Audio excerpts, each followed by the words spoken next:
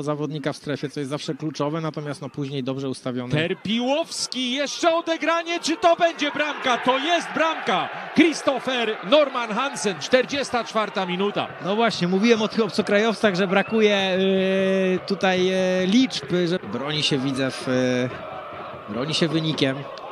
Miał piłkę meczową na 2-0 rzut karny, niewykorzystany przez Hanowska. Teraz nie ma O, spalonego. Nie ma spalonego. Danielak 2 do 0. Karol Danielak jeszcze popatrzył w stronę asystenta sędziego. Bramka zaliczona i to jest